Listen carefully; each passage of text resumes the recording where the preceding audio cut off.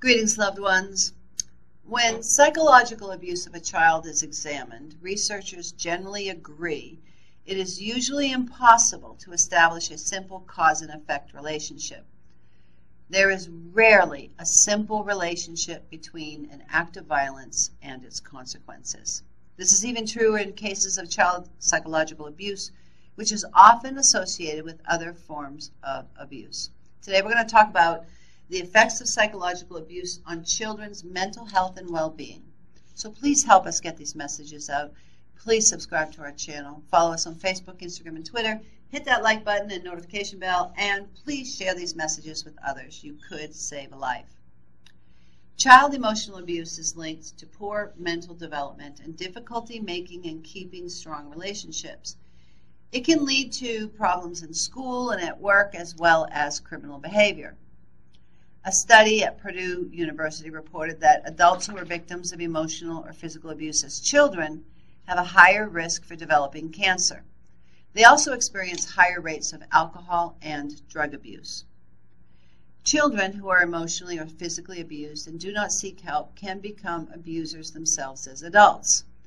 So let's look at the effects researchers have observed on psychological abuse on children. Number one, children who are victims of psychological abuse experience more emotional problems than children who are not victims of this type of abuse.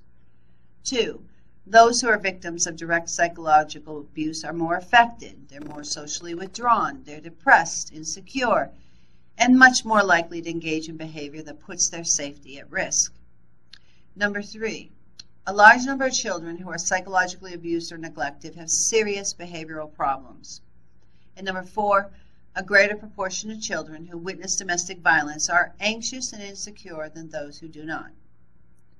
So, what are the conditions producing effects of child psychological abuse.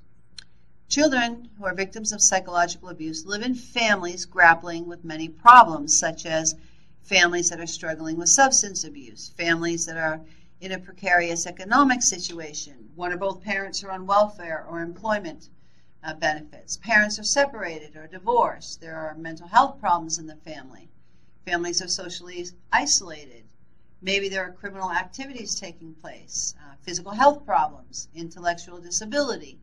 Single parent or blended families are overrepresented compared with the general population. it is completely possible for a child who has been emotionally abused to recover. Seeking help for the child victim is the first and most important step toward recovery. The next effort should be to get help for the abuser and other family members. So here are some national resources that can help in these efforts, and they will be listed in the information for this video.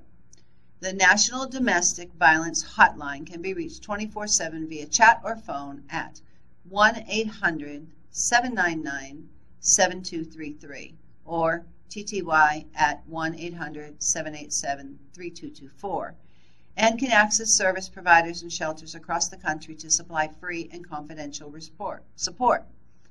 Then there's the Child Welfare Information Gateway. They promote the safety and well-being of children, teens, and families and provide links including family support services.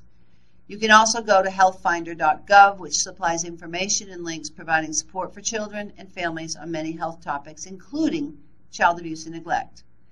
and then the organization Prevent Child Abuse America, which promotes services that support child well-being and develops programs to prevent child abuse and neglect.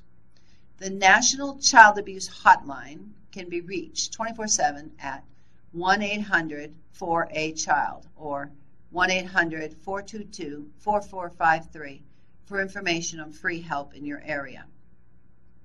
In addition, each state usually has its own child abuse hotline that you can contact for assistance.